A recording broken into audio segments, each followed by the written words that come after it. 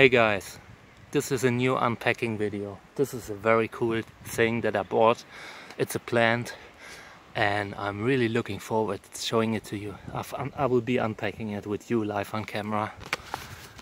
I only removed the sender's address to make sure he's not unhappy about me posting it. Now let me open this.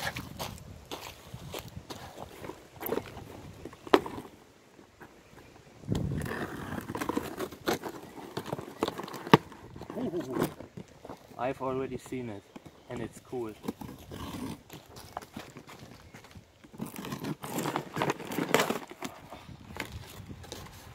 It looks really cool. I'm impressed.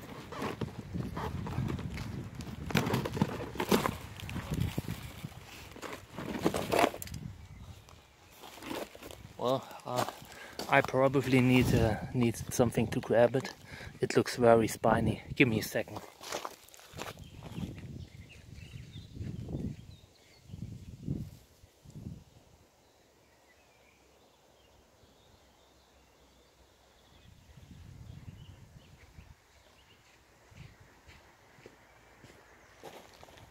I gotta find my tool. I'll pause the video so you don't have to wait this long. Alright guys, I found it. It took a while. I used these to grab to to grab uh, plants and this one is really spiny. So it's well protected against the dangers of shipping. Ah, shit, I, I stuck myself. I, I stung myself.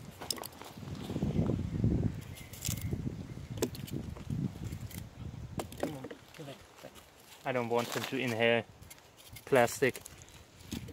It can't be healthy.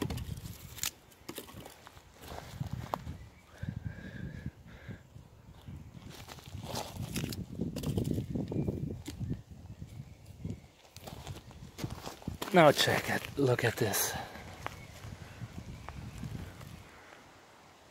Isn't this nice? Isn't this absolutely amazing? I got this guy from the Yellow Pages, not the yellow, not the actual Yellow Pages, but a German version of it, and I'm super amazed by it. I I bought it as Trichocereus courantii, which is a a relative of Trichocereus candicans. However, they don't get taller than like 30 40 centimeters. And this guy is a columnar trichocereus it grows high you know it gets like two meters, three meters. Um, it had a it had an old damage here. This looks like like it is benign black rot. I'll take the video a little bit higher. See, um, nothing nothing that would would worry me. It has benign black rot at the tip. Might have might have to do with the shipping, but it's nothing that bothers me personally. I'm closing this up because I don't want this plastic to go into nature, you know, this, this styrofoam. So yeah, let's count the ribs. Three, six, eight. It has eight ribs.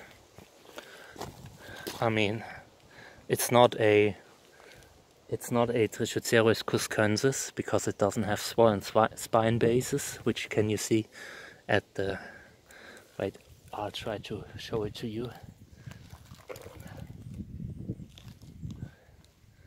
See no swollen spine bases. However, it has a very high rib count for Trichocereus um, peruvianus. This is similar to the types of plants that are sold as Trichocereus macrogonus or Trichocereus um, santaensis, some of them, you know, from there's some uh, very similar plants from the Chavin area like um, very spiny, very blue, and uh, that is probably my my guess for for this this type of cactus. But it's such a beautiful plant. Look at it. I mean, I paid something like I paid 30 euro for this, and uh, now that I see see how big it is, I know it's way too cheap it was a lot of it was very cheap the the seller was a very nice person who um, who kind of made me a special prize because I told him it's probably not Trichocereus courantii but yeah I mean I'm amazed. This is fantastic. This is the coolest plant I've seen in a while. Like I need to take a few few photos and videos of this guy just uh, just to show how amazing it is. The only thing that that is sad is that there's so much plastic hanging on it. I mean, I don't, I really don't like plastic. So yeah, Snoopy is here with me. We're we're getting storm, so I probably have to go now. The gods are angry, and I don't want Snoopy to get scared. I'll show you how it looks like. You know. It's like that scene in Polter Poltergeist when they are here. That's how it looks like right now. And Snoopy,